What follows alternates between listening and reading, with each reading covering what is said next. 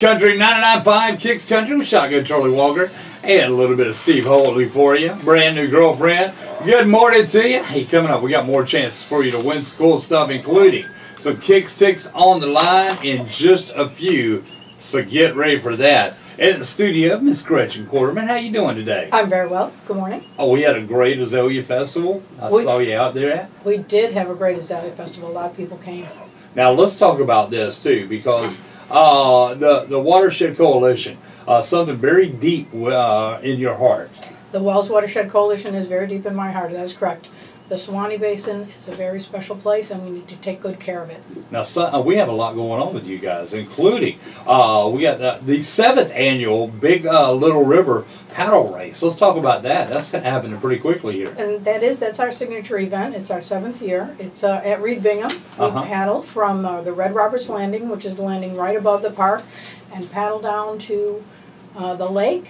It's a three mile, mile paddle, and the first place finisher wins hundred dollars. Uh, $100? A hundred dollars. Our last last year, our uh, first place winner was from Florida. Um, previously, our first place winner had always been somebody from the watershed, so this was the first time we had somebody from away um, come and win. It's a great family event.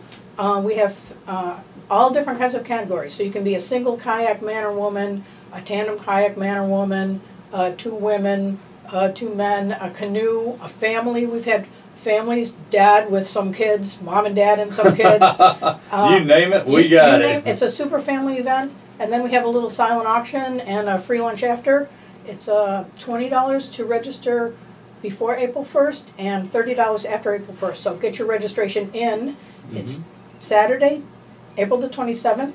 Um, registration is either online. You can buy your tickets online, or you can buy them the day of the event. Uh-huh. We'd prefer that you buy them Of course. ahead. Of course. and, and if you can't do that, you can even write a song about it, right? You can write about it, a song about it. Our songwriting contest, is, our second annual songwriting contest is coming up in August. Um, last year we had um, quite a lot of entries, and the top six played at the Salty Snapper. We'll be at the Salty Snapper again. It's live music, live original songs, and you can um, go to our website, wwals.net, that's a W-W-A-L-S dot net, uh, to find information about how you can submit your song. Um, there's top prizes for that. There's prizes for inside the watershed. So if you're from in the Suwannee Basin, you can win a prize. If you're outside the Suwannee Basin, you can win a prize. And then there's a grand prize winner for that too. Oh, now, now you guys are all over the place too. You're just not here in Valdosta. Oh no, the Suwannee Basin is uh, 10,000 square miles. Really? From Cordele to Cedar Key um, to Fargo. Uh, and, and Cordele, it starts there in Cordele. Yeah, the, the top of the basin is up by Cordele. The, the, the tributaries of the Alapaha and the Little River are up there. Okay. Tell us what else. Oh, what else you guys are working on?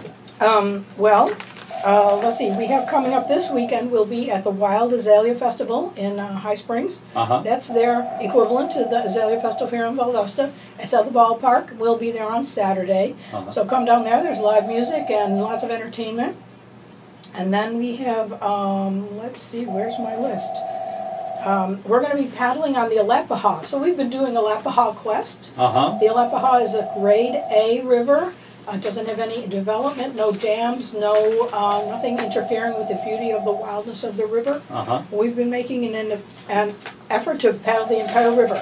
So next weekend on the uh, 23rd, we'll be paddling from Mayday to Statenville. So if you've never done that bit, it's a little bit longer. Um, it wouldn't be good for a first paddle, but um, if you're an experienced paddler, we'd love to have you come along with us. We paddle every full moon at Banks Lake at sunset. So if you want to see the sunset and a beautiful moonrise, come to Banks Lake, and those are on our calendar. Again, wwals.net, and click the calendar tab, and you'll find out when those are. So that's uh, sort of what's coming up.